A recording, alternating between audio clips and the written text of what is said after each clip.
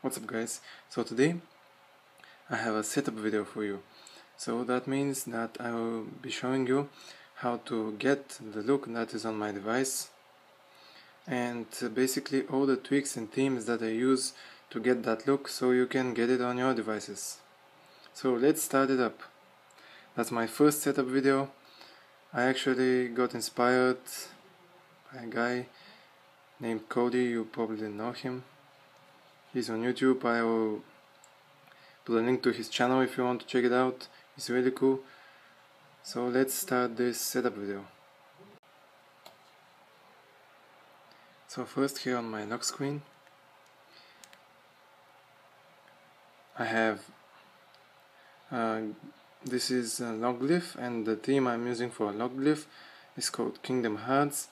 And this right here is Groovy Lock and uh, the theme I'm using for Groovy is called Cataracs. And if you want to get that blur uh, you have to change the options of the Cataracs theme in iFile. I'm gonna put uh, instructions in the description for you so you can do it.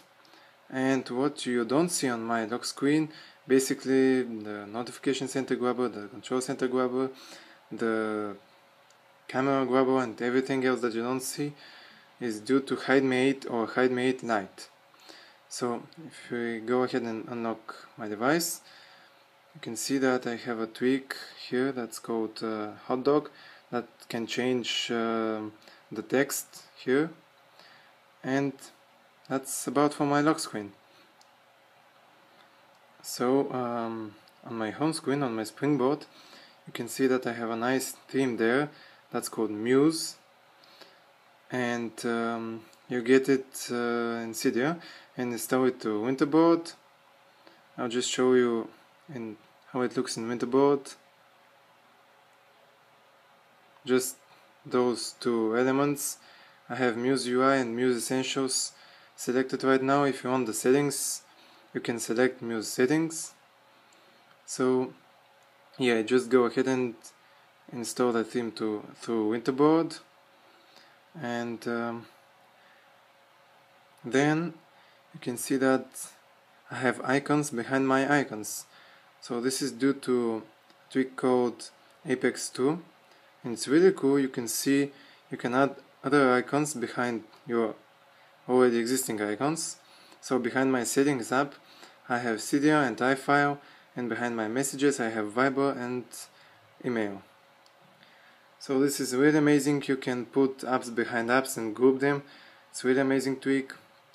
Um, once again it's called Apex 2 and what um, you actually see here that uh, my my dock is changed. This is due to classic dock. So what classic dock does is it gives you um, the dock from iOS 6 basically. And um, you can see that uh, it gives you these nice icon reflections and I don't know that dock just looks really nice on iOS 8 so once again it's called classic dock if you want to get that classic look of the dock. And um, so that's um, that's it for my springboard for my icons. Oh uh, I almost missed it. Um, so I have also iconoclasm you can see that my icons uh, are grouped like 3 by 3 and that's due, that's due to iconoclasm. And uh, when you install the tweak my set my setup here is called 3 by 3 dense. So it's one of the uh, default setups of this tweak. It's called uh, iconoclasm once again and once you install it you select 3 by 3 dense and uh, you have my springboard so that's about it for the springboard. If we jump to the control center you can see that I have a few tweaks here. Um, first uh, some of my control section some of my control center sections are gone. This is due to hide me uh, no uh, sorry. This is due to um, a tweak called uh, cc clean and what cc clean does is actually it allows you to uh, remove some sections of your uh, control center. You can see that I don't have airdrop or media controls. This is due to CC Clean and um, the theme I'm using here is called Gotham Glyphs CC and if you want to get it you have to install the Gotham Glyphs Winterboard theme and I will put a link down in the description so you can download it and instructions how to install it because you have to use iFile it's not you don't get it from Cydia. So I will leave the instructions below for you to get it. And um, we also have here a tweak called um, uniformity 2 so you so what uniformity 2 does is it allows you to change the color of the toggles in the control center you can see my toggles that are disabled are red and my enabled toggles are blue. So this is due to uniformity 2. And uh, this nice background which is blurred is due to Cistem Aperio I guess that's the right way to pronounce that. So what Cistem Aperio does is um, it blurs your background behind the control center. It's really cool. So this is for my control center and jumping on to the notification center I have the battery doctor widget. It's actually an app from the app store. It's called battery doctor and it has a widget for the notification center. And uh, the tweaks here that I have installed are as you can see notification I also has, have this in my control center, you can see it's rounded and also in my switcher cards you can see that switcher card is rounded here and so that's due to roundification.